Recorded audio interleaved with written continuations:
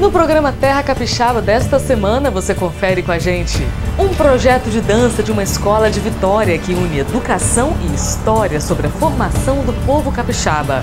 Confira também na educação alimentar os benefícios das frutas do verão. Saiba como o limão pode trazer benefícios para a sua saúde. No artesanato, teremos dois exemplos criativos para você conhecer: o cachepó em formato de sombrinhas e como reutilizar os seus enfeites de Natal do ano passado. É o Terra Capixaba começando. Daqui a pouco, depois do intervalo, a gente volta.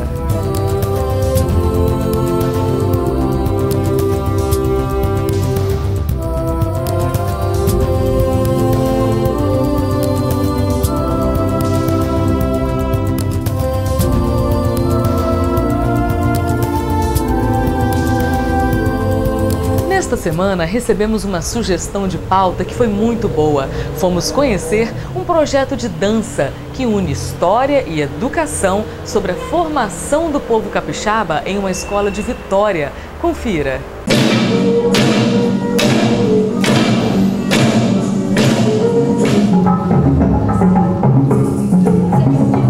Existem várias formas, vários caminhos para os estudantes aprenderem sobre a história do Brasil e do Espírito Santo. E uma delas é a dança. Fomos conhecer um projeto da Escola Elzira Viváqua dos Santos, em Jardim Camburi, Vitória, que une história e dança para gerar mais conhecimento e desenvolver a educação. O projeto começa na sala de aula, com ensinamento sobre a história do Brasil, do Espírito Santo, para estudantes do quinto ano os índios brasileiros, a chegada dos portugueses, dos negros da África e muito mais. O tema central é a formação do povo capixaba. Do que nós estudamos dentro do projeto, formação do povo capixaba, e depois quando nós adaptamos esse projeto maior num menor, que nós intitulamos depois Cultura e Natureza, pensando poeticamente, quando nós aliamos essas ideias do estudo do povo capixaba, da cultura do povo capixaba, à educação ambiental. A gente está fazendo um projeto de dança e aqui no Espírito Santo, antigamente tinha muitos índios, várias tribos, mas os portugueses chegaram aqui e eles é, chegaram ocupando essa terra e trouxeram os africanos, que eles são, eram escravos. Antes dos portugueses chegaram, tinham os índios aqui, aí depois chegou a corte portuguesa e tinha os africanos também, e que a nossa cultura, o nosso povo, é tudo misturado. Meu avô indígena e minha avó alemão e italiano, que era meu tataravô que eu não cheguei a conhecer, mas minha mãe me falou muito. E minha mãe, com esse projeto, eu pude falar para minha mãe, para os meus parentes, tudo que eu aprendi aqui também. A ideia do projeto surgiu porque faz parte do currículo, o estudo do povo capixaba.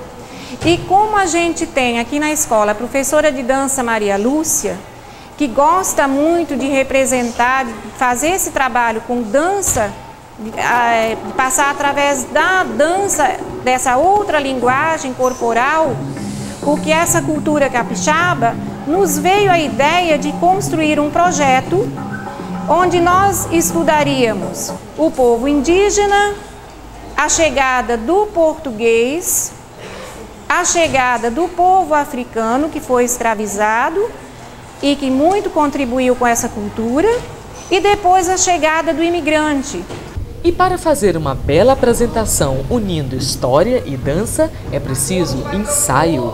A dança é a arte do movimento e é uma das mais antigas áreas de conhecimento das artes cênicas, juntamente com o teatro e a música. E a dança é uma ferramenta fundamental na escola. Ela permite à criança evoluir em relação ao domínio do seu corpo e também desenvolver e aprimorar suas possibilidades de movimento, descobrindo novos espaços, novas formas, superando suas limitações para enfrentar os desafios. E após muito ensaio, chegou a hora da apresentação. A apresentação de dança sobre a formação do povo capixaba.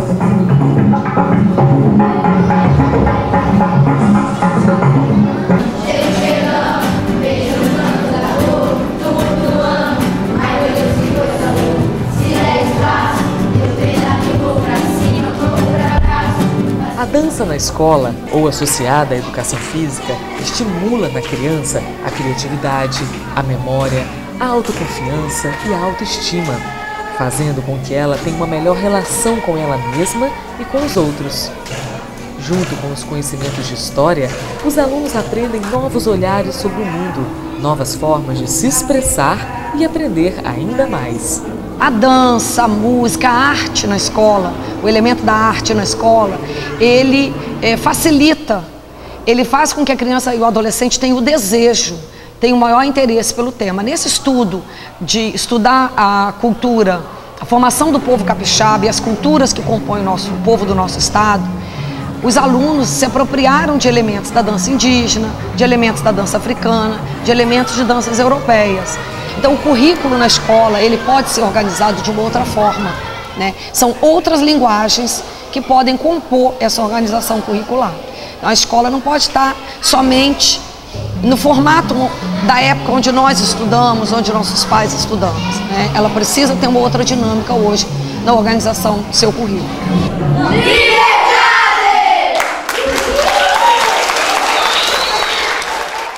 Próximo bloco, saiba tudo sobre o limão, uma fruta especial do verão que pode contribuir para a sua dieta.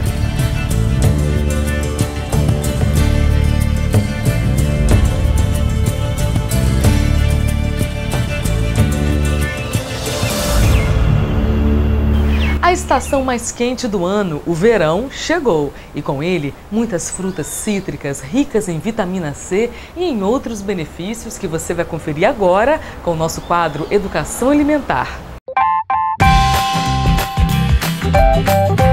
Olá pessoal, estou aqui mais uma vez no programa Terra Capixaba e hoje eu vou falar sobre o limão. O limão é uma fruta que pode ser utilizada não só é, em sucos, mas também em sobremesas, pode ser utilizado em preparo de saladas, em molhos para saladas e, e, principalmente tem sido utilizadas é, em sucos desintoxicantes. Então, o limão ele tem essa ação que ajuda a eliminar toxinas.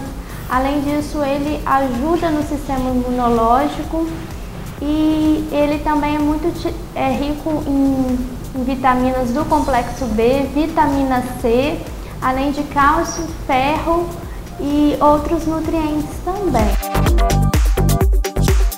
Além disso, o limão ele é anti-inflamatório e antioxidante, então ele protege o nosso organismo contra os radicais livres.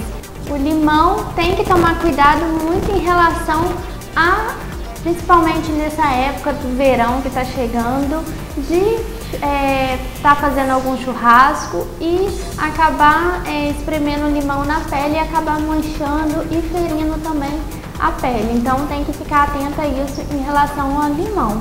Fora isso, ele pode ser utilizado até por crianças, né, em sucos. Só deve ser evitado para aqueles pacientes que têm alguma restrição, principalmente por problemas gastrointestinais, como refluxo, gastrite por ser uma fruta mais ácida, ela tem que ser evitada para esses pacientes porque acaba sendo pior para eles. Então é isso, pessoal. Espero que tenham gostado. Qualquer dúvida é só entrar em contato comigo pelo Facebook, que é o Luísa Duarte Nutricionista, ou pelo Instagram, que é o Dicas da Nutri. Até semana que vem. No próximo bloco teremos dois artesanatos para te mostrar. Não saia daí, a gente volta já.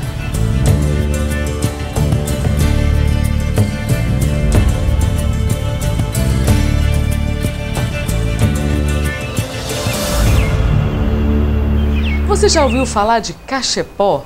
E ainda mais em formato de sombrinha? Então confira com a gente esse primeiro artesanato do bloco.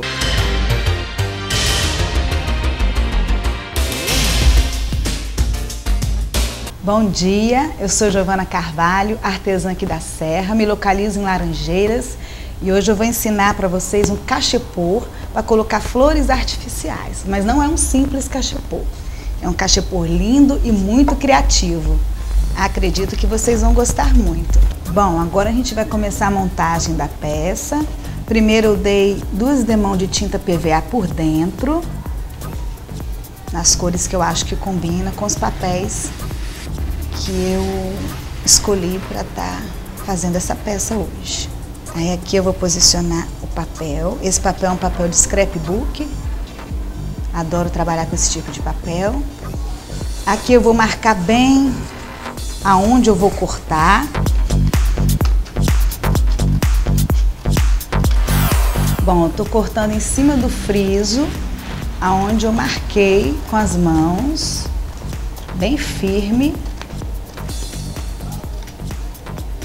poder dar certinho aqui em cima. Passar agora uma cola para decupagem. A camada pode ser fina, porque a cola é muito boa, então não precisa exagerar. Agora eu vou usar um detalhe que eu gosto muito. Eu vou fazer um corpetezinho aqui na frente, trançando umas fitas. Bom, aqui eu tô formando um corpetezinho para dar um detalhe bem bonito no centro do cachepô. Essa peça aqui é uma peça bem detalhada, que no final o trabalho vale a pena, ela fica muito bonita. mais detalhes, mais linda ela vai ficar. É uma peça que conta muita criatividade. Ela já é uma peça criativa, por ser um cachepô no formato de uma sombrinha. Então isso te facilita criar muitas coisas com ela. Então, ela já é uma peça criativa, então você vai usar mais ainda a sua criatividade. Agora vamos colocar do outro lado. Agora com muito jeitinho aqui eu emendo nessa peça aqui, nessa parte. Agora eu vou colocar mais um detalhezinho, dar um acabamento final aqui nele. Que é a cianinha.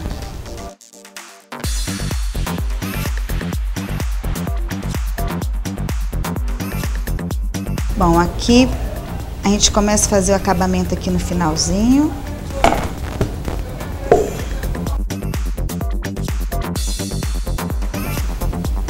Vamos colocar uma rendinha, utilizando a cola quente. Eu alinhavei essa rendinha, tá? Colocar um lacinho aqui para finalizar. bonitinho. Aqui eu vou fazer a mesma coisa, passar cola quente, começar a pregar aqui por dentro a rendinha que eu também alinhavei. São os acabamentos finais. Agora vou dar um acabamento aqui nas bordas.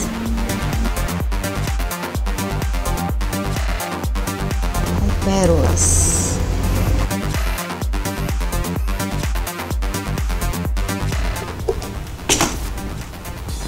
Para fechar essa parte do cachepô, eu ainda coloco alguns mimos para poder ficar ainda mais bonito. Tá aqui em cima.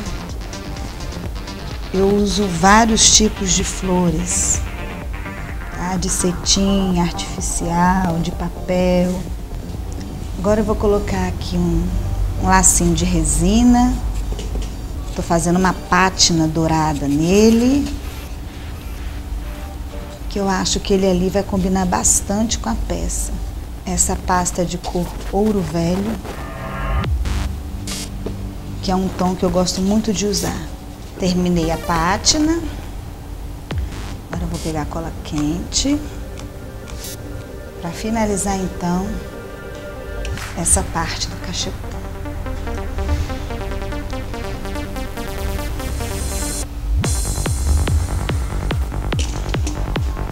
Bom, eu começo colocando aqui nessa parte de cima pérolas.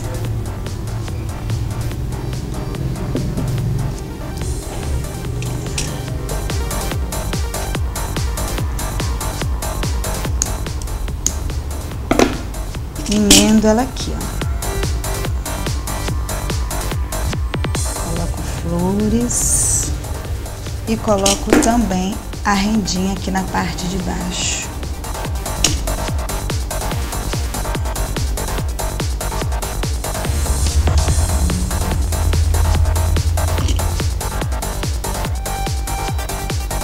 Bom, concluída então também a parte de cima do cachepô. Bom, gente, o cachepô está finalizado, rico nos detalhes, feito com muito carinho, para você colocar em qualquer ambiente da sua casa, numa varanda, na porta de entrada, aonde você quiser. Vale também a sua criatividade. A minha eu coloquei aqui, toda nessa peça. E aqui nós temos mais outras peças lindíssimas. Temos também essa aqui com a Torre Eiffel, com pérolas. São peças lindas e muito criativas. Bom, essas peças foram criadas para vocês com muito carinho. Espero que vocês tenham gostado. Meu Facebook é Giovana Carvalho e minha página é Atelier Giovana Carvalho. Meu contato 9963 91575. Espero que tenham gostado. Muito obrigada e até a próxima.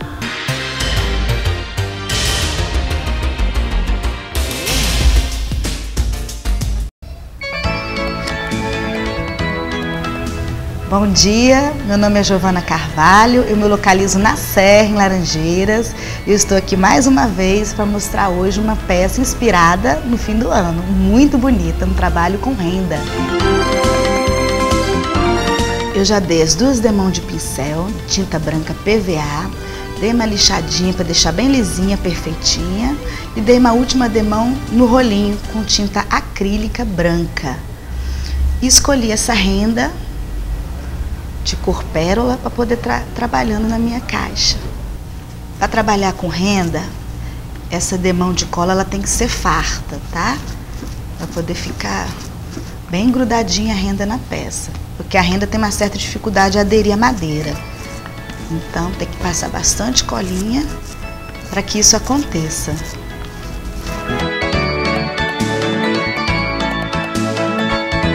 Agora eu posiciono a renda. Passando a mãozinha para ela poder ficar toda grudadinha na peça.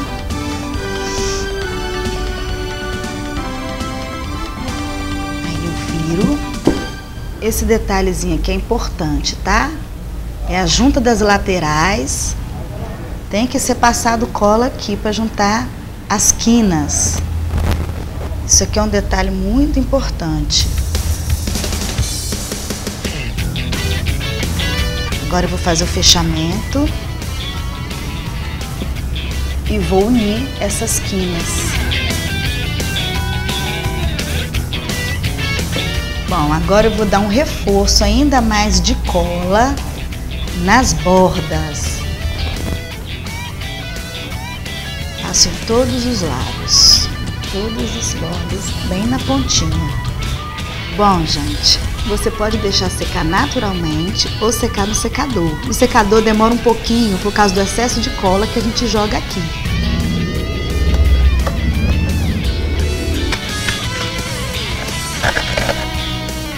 Bom, gente, agora eu vou dourar as pecinhas que eu escolhi para compor a minha caixinha, para poder decorar ela. Vou dar uma distância e vou começar a dourar a minha peça. Bom, enquanto seca os detalhes para a tampa da caixa, a gente vai então finalizando a parte de baixo. Eu escolhi essa fita também de tons dourados para poder estar tá fazendo essa parte de baixo da caixinha.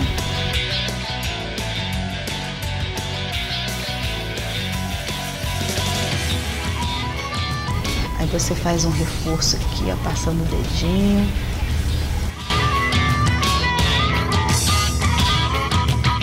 Nesse meio nós vamos completar com lacinho, que a gente chama de lacinho Chanel, que eu vou ensinar vocês agora como faz. Aqui então, vamos fazer nosso lacinho Chanel. Vou fazer devagar para vocês entenderem.